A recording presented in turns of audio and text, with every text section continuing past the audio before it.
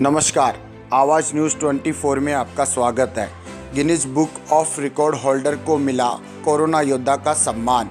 All India human right salute corona warriors में।